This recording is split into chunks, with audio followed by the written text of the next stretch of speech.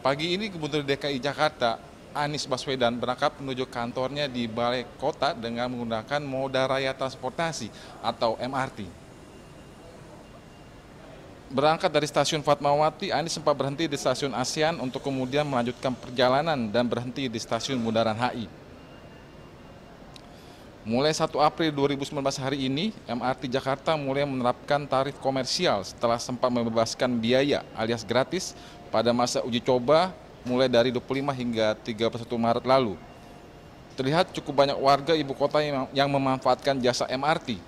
Namun terlihat masih ada sedikit masalah di gerbang keluar yang beberapa di antaranya macet tidak terbuka saat penumpang mencoba untuk mentep kartunya untuk keluar dari stasiun. Para penumpang MRT hanya membayar 50% dari harga yang sudah ditentukan. Potongan harga tersebut merupakan kebijakan dari Pemprov DKI Jakarta karena saat ini baru 8 rangkaian yang beroperasi dari total 16 rangkaian.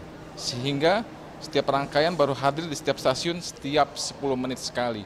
Demikian Rahmat Aminuddin dan Sandi Mas melaporkan dari Jakarta.